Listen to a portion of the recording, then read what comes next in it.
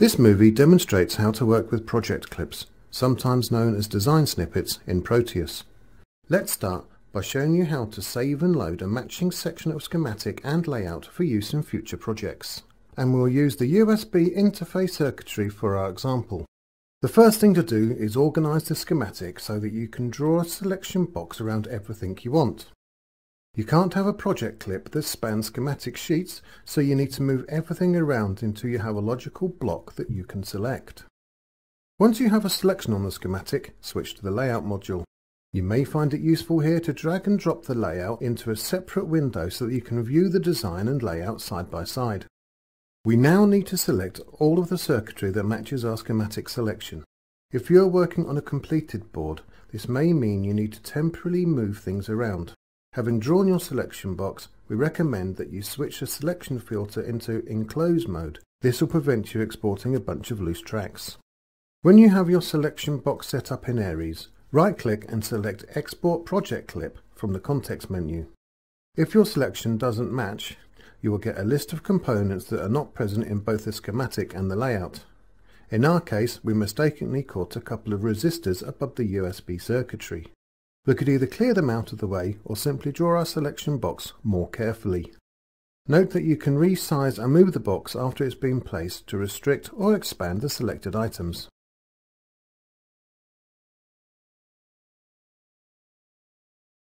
This time we have the same parts tagged on the schematic and the layout, so the project clip is saved to disk.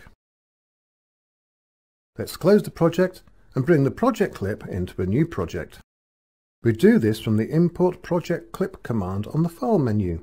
You must import into the schematic module first, as this will make sure there are no annotation clashes with other circuitry on the design.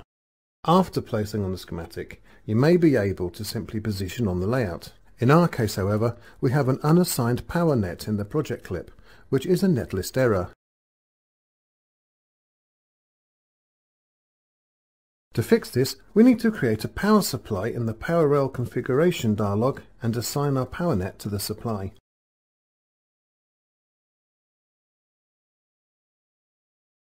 Now we can drop a board edge down and then go ahead and place our project clip as a single entity on the layout.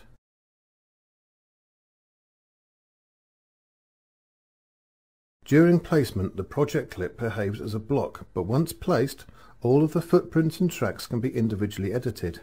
If you need to reposition after placement, simply drag a box, set the selection filter and move into place. We have a few missing connections to sort out. This is because the sourced layout had ground planes and our new project does not. The rule is that only planes that are fully enclosed by the selection box are saved with the project. We assume otherwise that planes will already be on the new board or will be placed across four layers. We'll do that now placing a ground plane on top copper, then routing the last missing connection manually.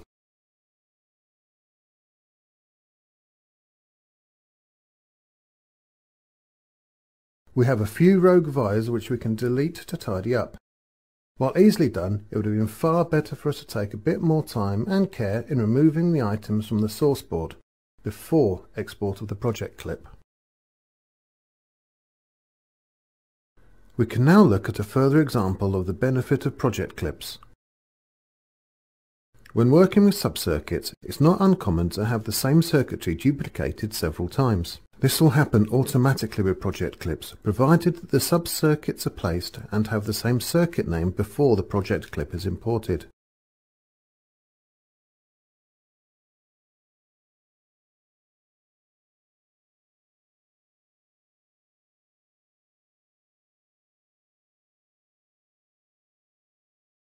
In this example, we now have four subcircuits with the same name ready for design.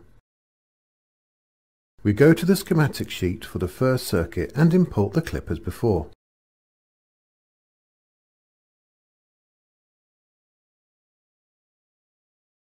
If we return to our root sheet and look at the second circuit, we can see the layout is placed for us and the annotation follows on from that of the first circuit. The Design Explorer will confirm this for all circuits.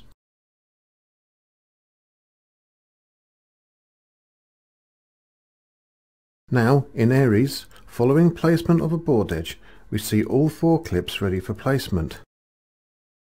As with placing a single clip, each one is placed on the board as a whole.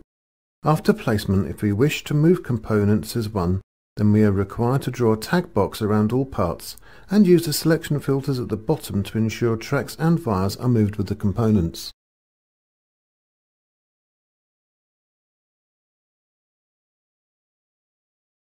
You can also have schematic-only project clips.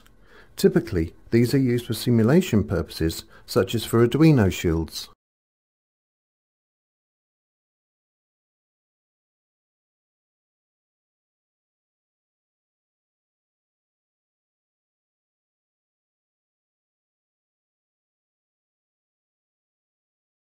You create a schematic-only project clip by selecting all the objects you want to include and then exporting from the context menu.